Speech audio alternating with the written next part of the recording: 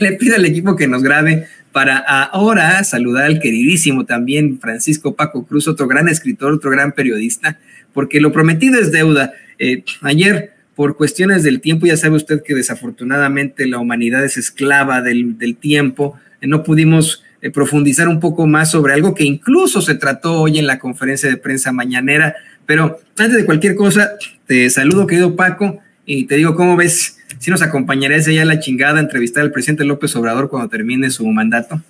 Absoluta, fíjate, Toño, y absolutamente buenos días, Toño, buenos días a todo mundo. Este, no, el presidente López Obrador va a ser a, noticia mucho después de que se vaya. Yo estoy convencido que no va a, que no va a participar ni como ni como consultor. Mira, este, él tiene muy clara la historia de este país, sabe lo que pasó con Plutarco Plutarco Elías Calles, Francisco Plutarco Elías Campuzano, eh, de Guaymas, Sonora, mejor conocido como el jefe máximo de la revolución.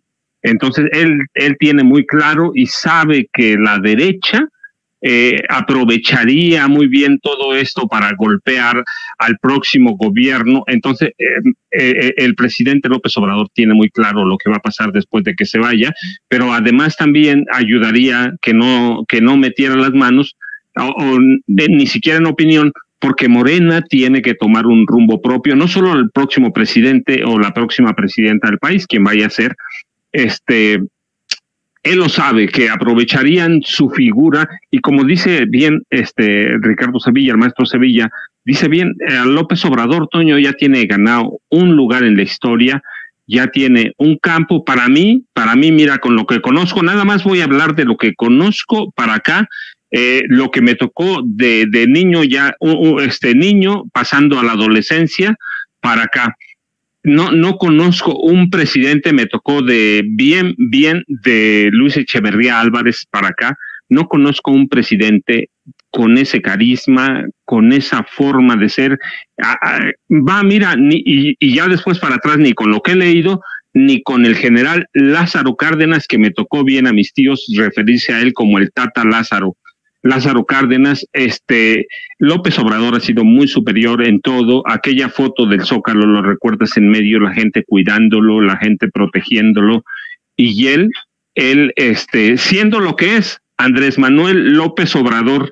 Entonces yo creo que él tiene muy clara la, la historia del general este, Elías Calle, la, historia del Maximato, y sabe que, que expondría al próximo presidente o próxima presidenta y sabe que, eh, que expondría también al movimiento de regeneración nacional y creo que lo vamos a disfrutar bien, bien leyendo y aprovechando en un momento dado, este, yo creo que así como es va a ser muy abierto y sí va a recibir grupos, lo tiene que hacer, ah, no, no porque esté obligado, sino porque es una referencia histórica, Toño. Así que, y mira, nada más otro, otro, otro, otro, otro apunte ahora porque viene a la, a la al tema, lo del general este, Plutarco Elías Calles. Otro sonorense, Álvaro Obregón Salido, el general Álvaro Obregón, y Lili Telles, imagínate, se quiere comparar a historia, la historia pura de este país, Toño. ¿Sí?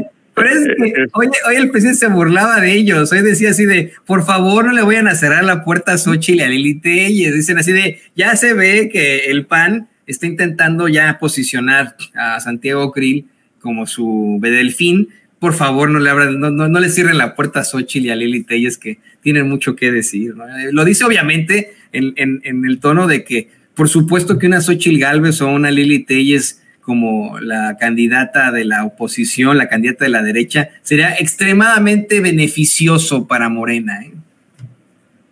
No, claro, Toño, el sarcasmo con el que habla el presidente, pero no solo que es un sarcasmo fino y hay que seguirlo, este, pues esa es la estatura de la oposición en este momento. Mira, este, no, no hay, ¿Para dónde se mueve Toño? Santiago Krill es su máxima figura, el hombre que jamás quiso investigar a, a, Genaro García Luna, que lo tuvo ahí, el hombre que eh, político o funcionario que entregó concesiones, permisos para eh, casas de juego, lotería, eh, lo, que sea, para armar su candidatura presidencial. Imagínate la estatura. Y pues sí, el presidente con ese sarcasmo que lo caracteriza, yo también digo lo mismo. Este, ahí merecen estar Lili Telles, ahí merecen estar Xochitl Galvez, y, y también merece estar Santiago Cris Miranda, Toño. Esa es la oposición que tenemos, pero mira, lo recordé a propósito, que este tipo que se dice norteño, no, hemos tenido norteños en serio. Hemos tenido norteños en serio. General Álvaro Obregón, que es uno de mis consentidos, Plutarco Elías Calles, hombres que formaron historia. Este es un, este hombre es, es, es, la extrema derecha, Toño, tú lo sabes, la extrema derecha, pero es un ridículo, es un juguete, es un hombre gris, es un hombre incapaz. Pero bueno, ahí está, Antonio, esa es la oposición que tenemos y, y, y valdría la pena. Y mira, sí, otro día platicamos de, de, de, de, Cuba, porque mucho de lo que salió de